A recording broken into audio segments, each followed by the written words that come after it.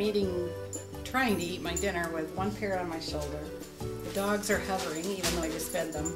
The other parrot's been yelling for something, although he's going to yell again because he just finished his bread. It's just another day at the Whack House. Pets. Liv, Libby. is it a whack house? Is it a whack house? You getting the cow? Mm-hmm. Right. You want to chew on the fork? Is it? Oh, you don't like it. Okay. I tried to give him sweet potato and he tossed it over there on the couch. Boy. How are you doing, short stuff? Say Raja.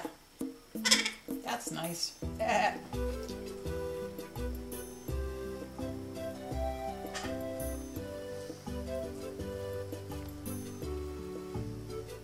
You handed him a paper towel, you should demonstrate how he wipes his beak.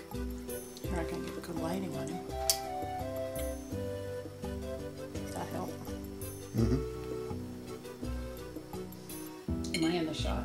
No.